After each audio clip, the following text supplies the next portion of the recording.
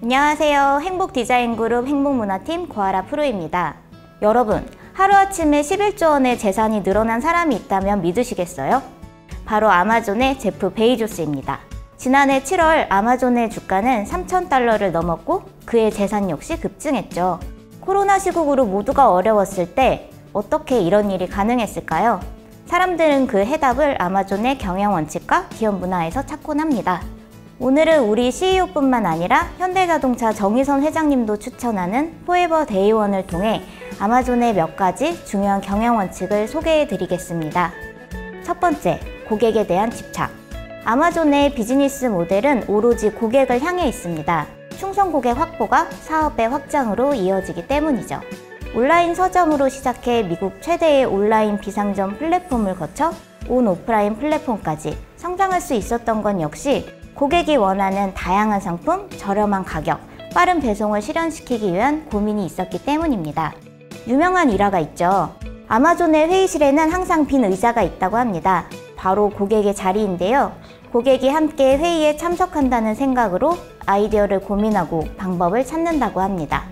고객에 대한 집착으로 끊임없이 혁신을 일으키는 아마존이지만 이는 경영 시스템, 기술만으로는 불가능하죠. 이런 놀라운 결과를 만들어내기 위해서는 적합한 사람들이 하나로 모인 팀이 구성되어야 합니다.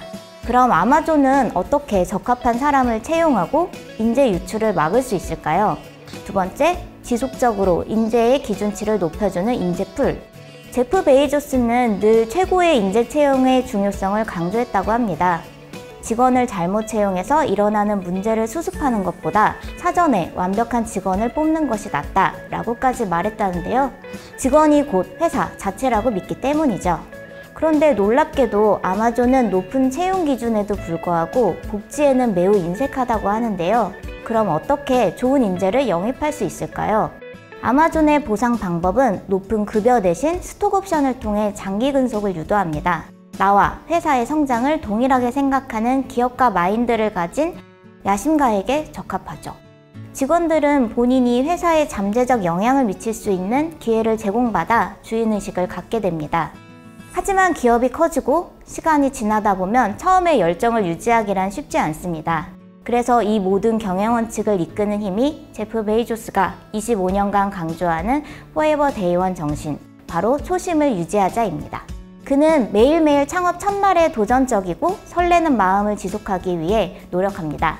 그리고 직원들에게도 새 아이디어를 찾고 발명하고 실험하는 과정을 반복하는 도전을 장려합니다. 창업 초 제프 베이조스는 안 쓰는 문짝으로 책상을 만들어 사용했다고 합니다. 지금도 그의 사무실에는 이 책상이 있는데요. 창업 첫날의 다짐을 잊지 않기 위함입니다. Desk Door Award 혁신적 아이디어로 고객에게 더 저렴한 상품을 제공한 직원에게는 문짝 책상 모형의 상이 주어지는데 아마존의 직원들이 꽤나 받고 싶어 하는 상이라고 합니다.